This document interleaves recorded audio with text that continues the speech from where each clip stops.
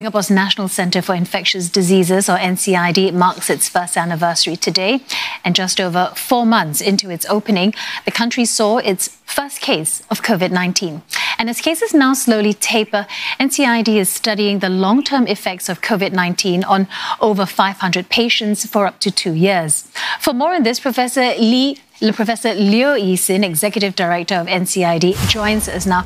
Professor Leo, so COVID 19, definitely the biggest event this past year. What was NCID's role in managing the pandemic in Singapore? Tell us what were some of the biggest challenges and achievements?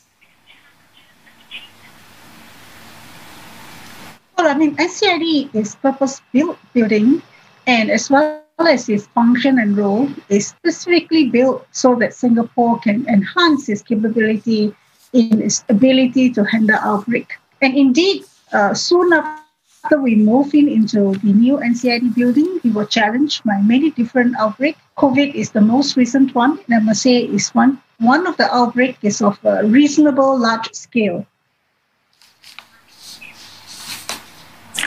Professor Leo, the Prime Minister has, has weighed in on this, saying that, you know, COVID-19 is not going to be Singapore's last or, or even worst pandemic. What have you learnt that will, will perhaps help Singapore prepare for this disease X that he recently spoke about?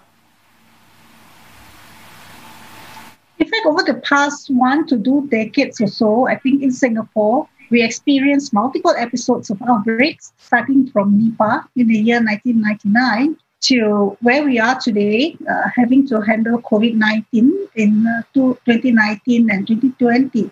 If you look back the history of the uh, outbreaks in Singapore as well as the other parts of the world, you then realize that, uh, in fact, many of all these emerging infections and re emerging infections are happening in closer successions. So, if we were to look back into the history, I think it is fundamental and it's critical for us to be able to beef up our capability to handle outbreaks. And it is possibly not wrong to say that, you know, COVID perhaps it is one of the challenges and it may not be the worst that is going to come. Right. Speaking of that, COVID 19 situation somewhat, somewhat stabilizing. Can you give us an update of your study of recovered COVID 19 patients?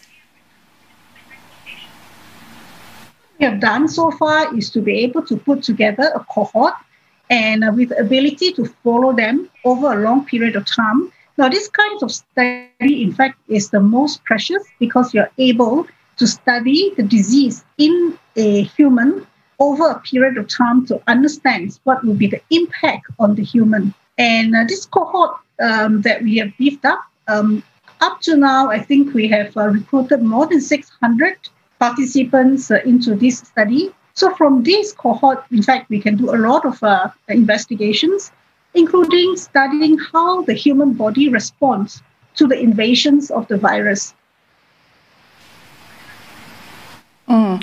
Uh, and on that point, could you share some of the of the findings from that? Because there have been concerns uh, in the media, uh, specifically about just how bad it can be, how bad recovered patients, what, what they can suffer from. Permanent heart damage, loss of sense of smell, uh, and even brain damage is being spoken about.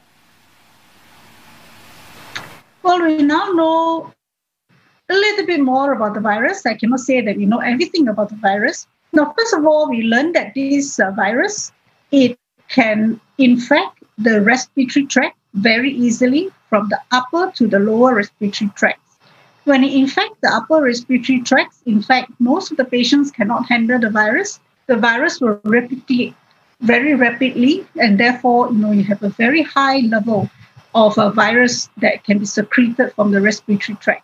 As it moves down to the lung, it can cause major damage to the lung through many, many ways. One is to directly damage the lung tissues, and then it create a lot of inflammatory responses. And you add up all this together, it can cause significant damage. And not only to the lung, we also know that the virus can attach to the heart, can attach to the blood vessels, and that can cause damages as well in different parts of the organ. Now, we do not know at this point in time what will be the long term impact of all the COVID 19 cases we have recovered. But indeed, this cohort will be able to help us to understand much more in terms of the long term impact of the virus on the human body. And it is very important work that you're doing. Professor Leo, thank you very much for that. We've been speaking there to Professor Leo Yee Sin, Executive Director of the Singapore's uh, NCID.